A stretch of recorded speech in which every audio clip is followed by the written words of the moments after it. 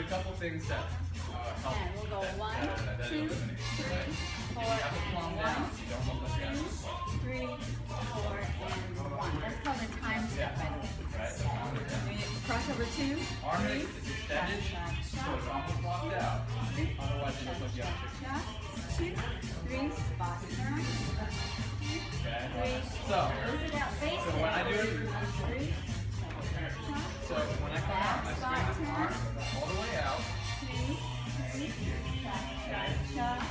two, three, close, cross body knee,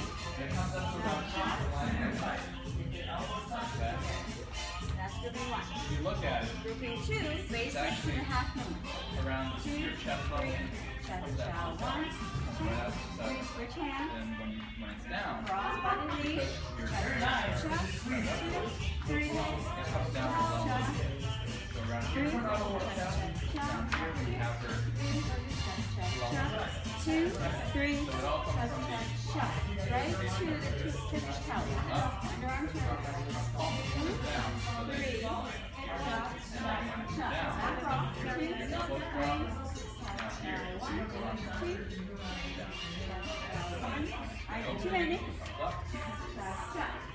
Back rock to the right, then knee forward, then two, and knee three, shot, shot, shot. So go right to, two, I